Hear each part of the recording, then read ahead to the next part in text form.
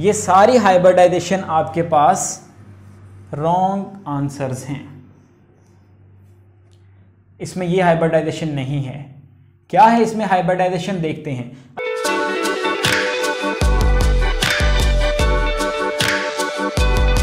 Hybridisation की बात करें तो हाइब्रिडाइजेशन एक्चुअली मिक्सिंग होती है एटॉमिक ऑर्बिटल्स की, जिसमें एटॉमिक ऑर्बिटल्स आपस में मिलके न्यू एटॉमिक ऑर्बिटल्स बनाते हैं। क्यों बनाते हैं ताकि वो बॉन्डिंग में हिस्सा ले सकें? नए एटॉमिक ऑर्बिटल्स जो हैं, वो असल में बॉन्ड बनाने में हेल्प करते हैं।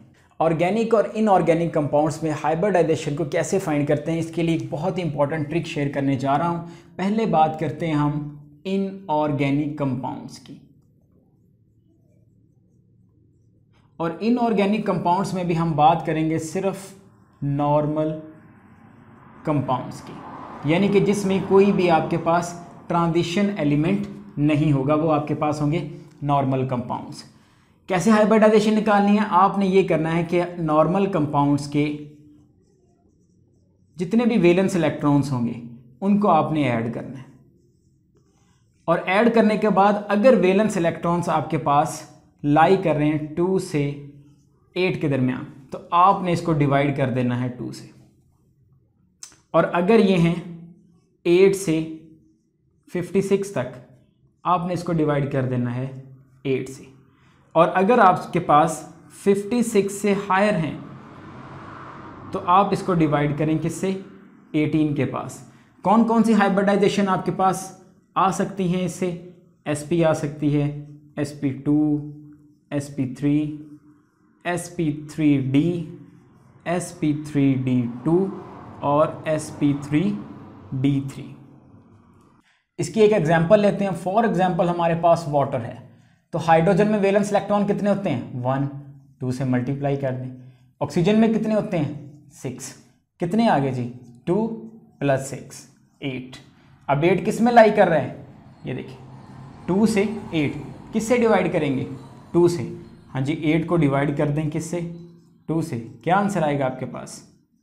फोर अब फोर कहाँ बन रहा है? देखें काउंट करें। वन एस थ्री पी, हो गए फोर। उसका मतलब है इसमें कौन सी हाइब्रिडाइजेशन है आपके पास? एस पी थ्री हाँ जी वाटर के अंदर आपके पास एस पी थ्री हाइब्रिडाइजेशन होगी। और एग्ज़ाम्पल लेते हैं। फॉर एग्ज़ाम्पल आपके पास है S N C L four S N में कितने इलेक्ट्रॉन होते हैं? एस एन फोर ग्रुप से है। फोर इलेक्ट्रॉन होंगे। क्लोरीन सेवन ग्रुप से है। सेवन को मल्टीप्लाई कर दें फोर के साथ। कितना हुआ? Four plus twenty eight. Thirty two. Thirty two कहाँ आ रहा है?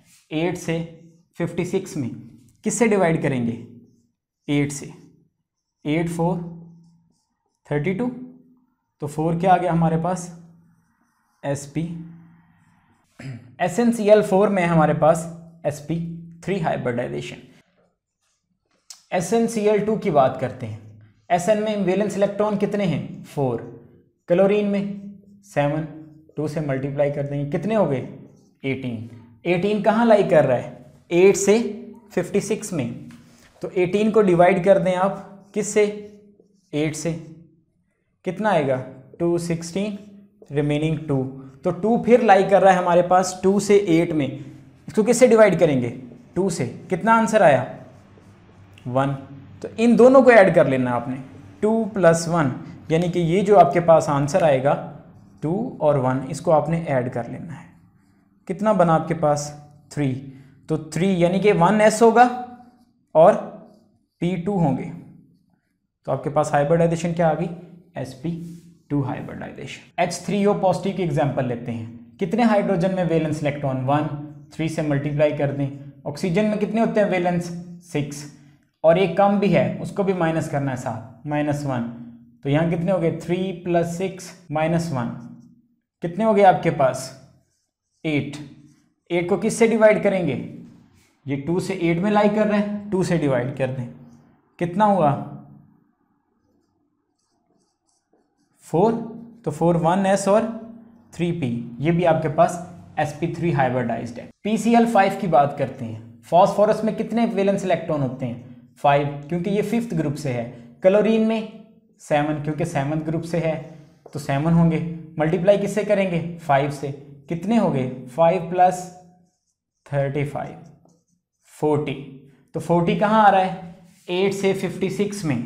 तो फोर्टी को डिवाइड कर दें एट से।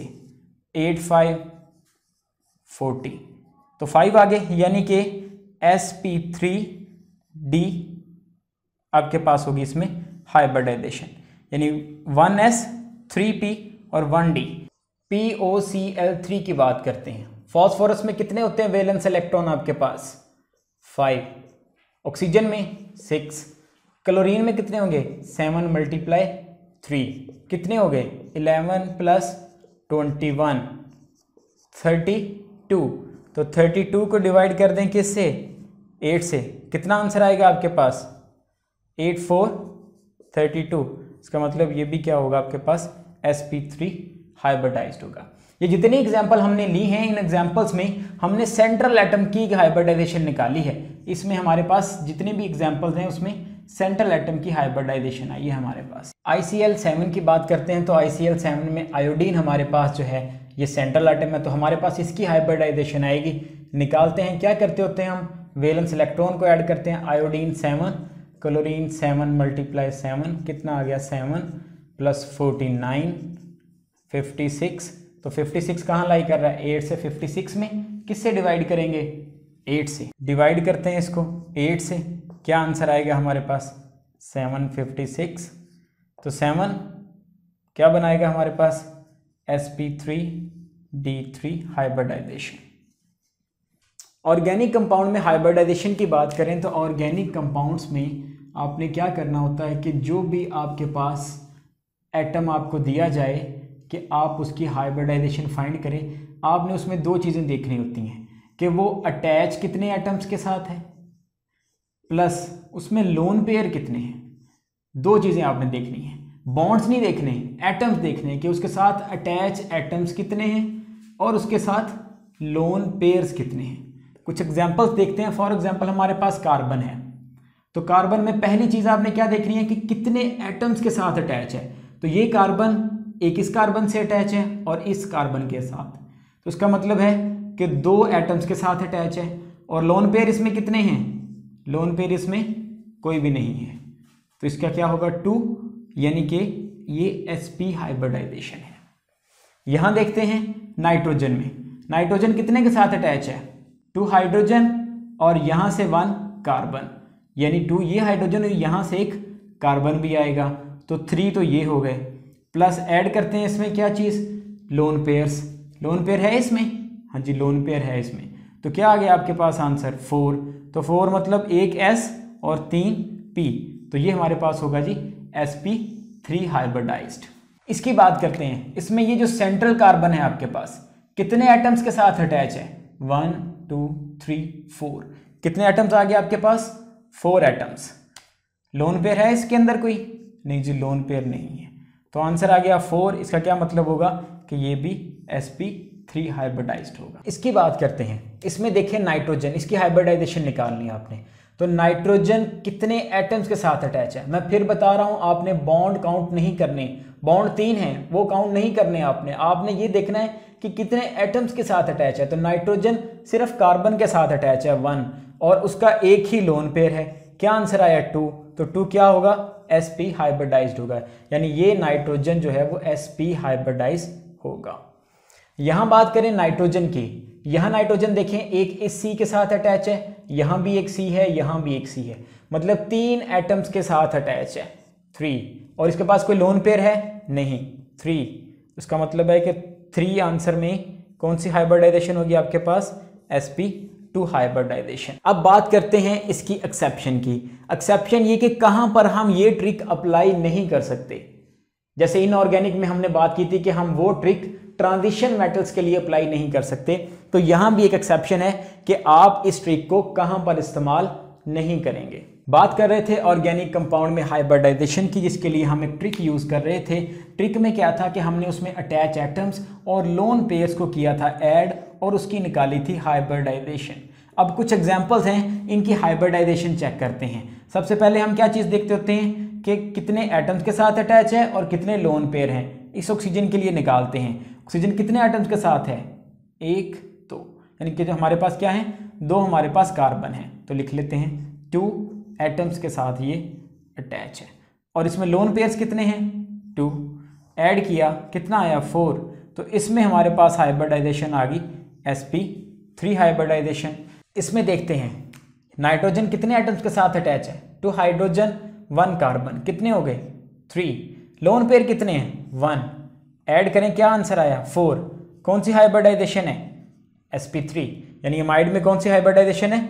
एस पी थ्री ईस्टर्स की बात करते हैं। इसमें हमारे पास ऑक्सीजन की हाइब्रिडाइजेशन निकालते हैं। कितने एटम्स के साथ अटैच है? एक यहाँ पर कार्बन होगा आर के लिए लाजमी बात है, और एक ये कार्बन दो एटम्स और लोन पेयर्स कितने होंगे इसमें? दो। क्या आंसर आया? Four S P three hybridized यहाँ पर बात करते हैं हम। पायरोल की बात करें अगर तो नाइट्रोजन कितने एटम्स के साथ अटैच है? One two three three atoms के साथ।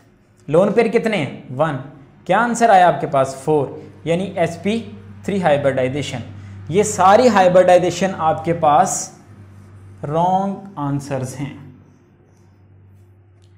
इसमें ये हाइब्रिडाइजेशन नहीं है। क्या है इसमें हाइब्रिडाइजेशन देखते हैं। एक्सेप्शन हमारी ये है कि जहाँ lone pair adjacent to pi bond होगा, वहाँ जो भी हाइब्रिडाइजेशन होगी, उसको एक पी कम कर देना है आपने। इस ऑक्सीजन में देखते हैं। इस ऑक्सीजन में हमारे पास ये जो लोन पेयर आपको नज़र आ रहा है, ये लोन पेयर इस पाई बॉन्ड के साथ कॉन्जुगेशन में आ जाता है। क्या हमारे पास एक्सेप्शन है कि lone pair adjacent to pi bond ये लोन पेयर और ये पाई बॉन्ड ये एक दूसरे के एडजस्टेंट हैं। तो यहाँ पर हाइब्रिडाइजेशन में आप पी को एक कम कर देंगे। तो यहाँ हमारे पास एक्चुअल हाइब्रिडाइजेशन होगी sp2 सेम ये भी यहाँ पर भी देखें आप कि ये लोन पेयर जो है, वो इस पाई बॉन्ड के साथ क्या है? एडजस्टेंट है। ये इसके साथ रेजोनेंस बना सकता है कॉन्जुगेशन में आ सकता है। तो यहाँ पर भी हम एक पी कम कर देंगे। यहाँ पर भी, यानी अमाइड्स में भी ये जो नाइट्रोजन है, जो कि कॉन्जुगेशन में है, किसके साथ?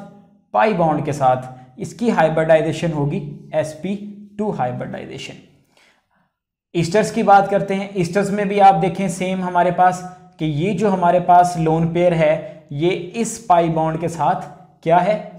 कॉन्जुगेशन में आ सकता है। तो यहाँ पर भी आपने इसकी जो हाइब्रिडाइजेशन है वो ये कम कर देनी है। यहाँ भी एक्चुअल हाइब्रिडाइजेशन जो है वो sp2 होगी। पायरोल में पायरोल की बात करें सेम यहाँ पर भी ये जो आपके पास लोन पेयर है, ये इसके साथ भी और इसके साथ भी क्या है? Lone pair adjacent to pi bond है। यहाँ पर भी हाइब्रिडाइजेशन आप क्या कर दें? एक पी कम कर दें एस पी टू यहाँ पर भी आपके पास एक्चुअल हाइब्रिडाइजेशन जो आएगी, वो एस पी टू आएगी। यानी कि ये आपके पास है जी एक्चुअल हाइब्रिडाइजेशन